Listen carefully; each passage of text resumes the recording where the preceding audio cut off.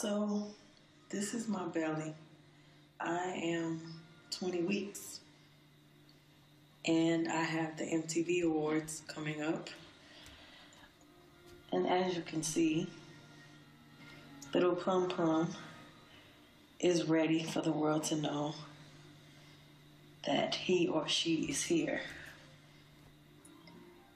I think I'm gonna have to just throw in the towel and if you can see that I'm pregnant, I just have to own it.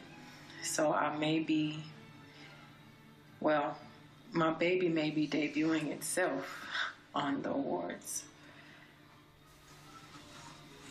I'm going to be a mommy.